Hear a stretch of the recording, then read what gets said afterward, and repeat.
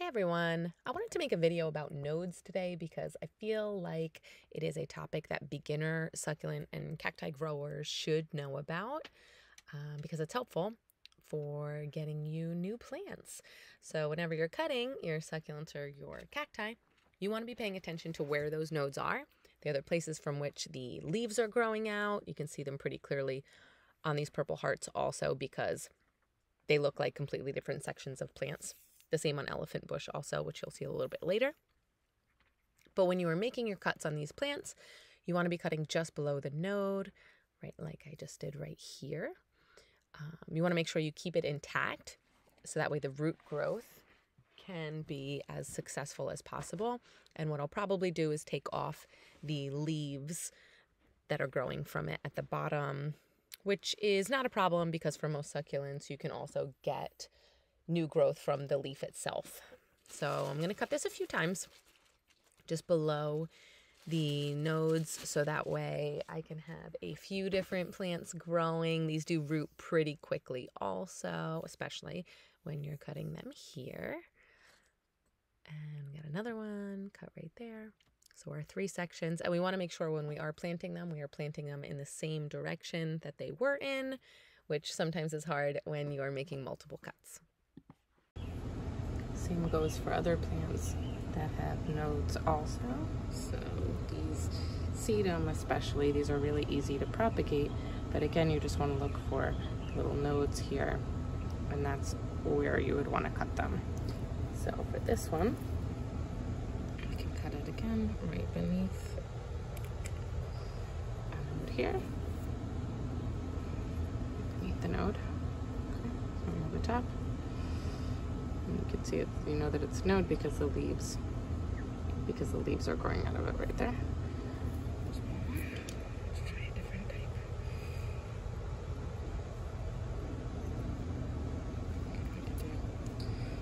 This one's a good example too. So I'll do another one. Okay. Another type of sedum. And again, right beneath a node. And you can tell really that it's a node here because you can see that there's new growth coming right out of it there. If you can see it this way. Yep. So that's where the roots will come out of.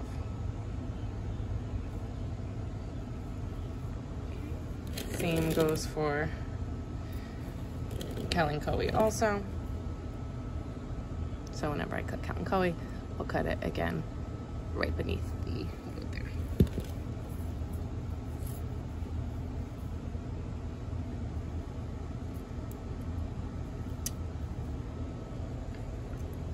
Since this is getting pretty. Thick in here, maybe we can cut one off. Let's take maybe this one. Okay. Beneath the node again. Okay, so we'll have those.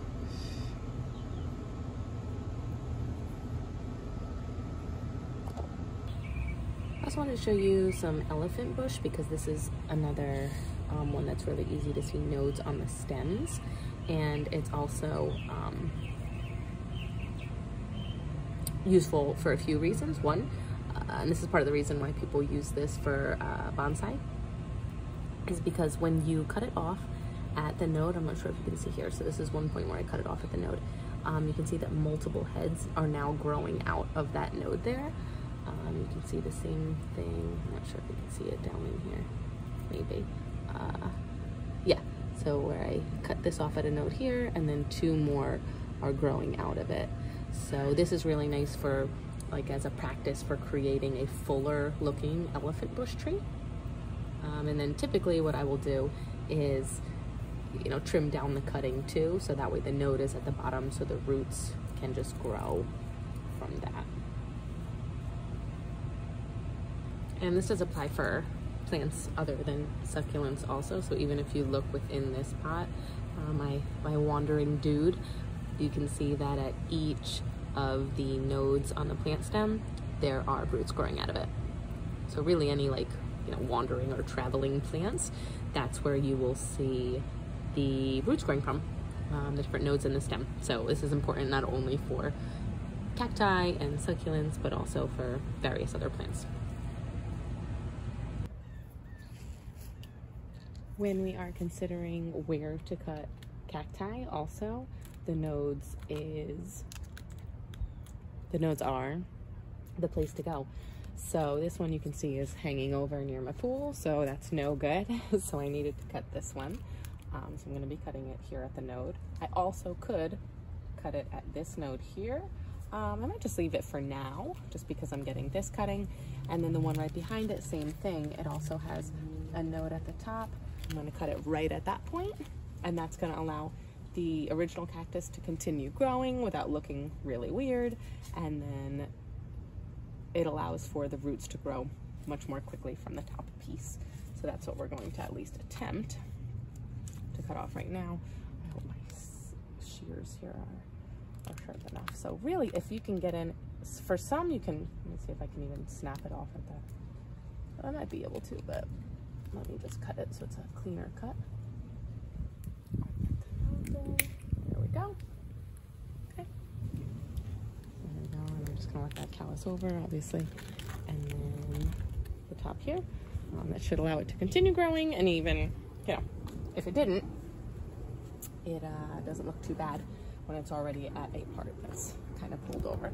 So same thing with this funny looking one also. At the nub there.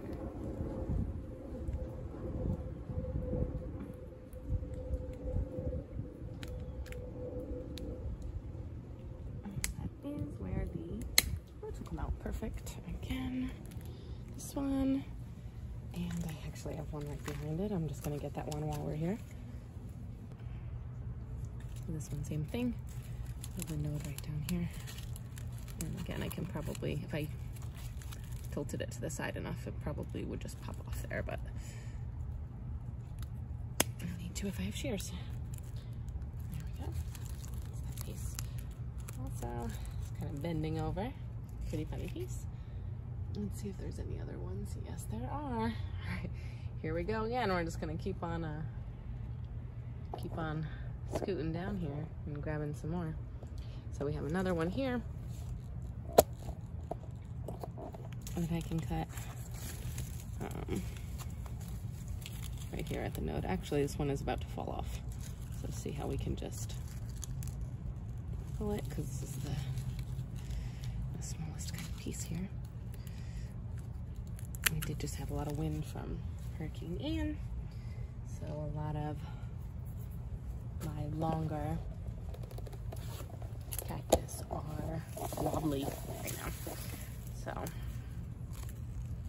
help them out a little bit before they end up just falling over on their own. So same with this here. You can see this one. I'm gonna move this out of the way. This one has the same node right here. And it's a little bit wobbly also. Okay, another. And another right here. This one he was kind of barely even hanging on. All right. Oh, there's so many more. As you can see, the triangle cactus um, grows really well here. And all of these ones were actually cuttings from my original cactus in the front. So it's just the plant that keeps on on giving. All right, so down here, I'll cut this one. This one is just so funny looking. I love this one because it looks like two entirely different cactus. Because this one at the bottom, is so you can see it's flat right here. And then at this point, it just gets that really funny shape. But we're gonna go for this too. There we go. Because when they get that skinny, eventually they're gonna fall over. And we have about three more here with the same situation.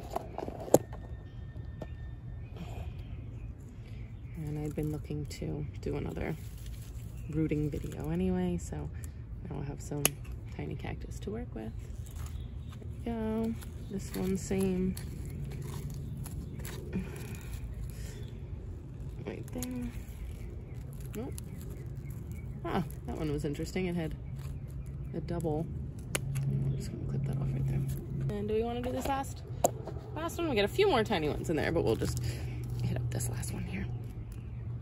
And that one actually kind of is, no, that's just a funny growing piece. All right, check out our haul. So these are just the pieces that we were able to cut off that were growing out of nodes. So it was not harmful to the cactus that it was growing off of. It'll still look nice. And then we have all these new pieces that we need to figure out something to do with. I also wanted to show some of the stem nodes and how well we can get growth off of these. Um, so you can see on this one, these are the spaces uh, where leaves originally were and they either fell off or I pulled them off. And you can see how there's almost entirely new plants growing on those uh, stem nodes. You can see on both of these um, that's there and you can still see some of the leaves that are attached. Actually, you can look in the back right there and you can see that there is a new plant that's growing from an existing leaf node also, maybe even, eh, maybe just one of them. And then another one on, on the other side where there was a leaf before. Um, yeah, I mean, you can see anytime that you're propagating from a leaf, from a succulent leaf, you are propagating from the leaf node. So it's just the term that you use for that, but that's where the roots are going from. So you can see how nicely you can grow plants from those. It's really the same in the case of any other nodes. Um, this is one where I beheaded uh, these because they were getting exfoliated, they were getting too long. And you can see on the side there, that was where a leaf was, and you have pretty good growth there. And also on this one, the same case, that one's actually growing out of a leaf node also. And let's grab another. This one you can see, yeah, really, really nice plants forming there on the stem nodes where the leaves once were. And then on the other one, you can see really tiny ones that have started to grow. This is also why I say, why I always say, save your stems if you are beheading your plants, because you will usually get good growth on them long as the soil is good and the plant is relatively healthy. You can see that even this plant is dying off a little bit, but we still have good growth on the stem. Hopefully this video has been helpful to some of you if you are looking to propagate succulents or cacti. Thanks for watching. Subscribe to learn more with us.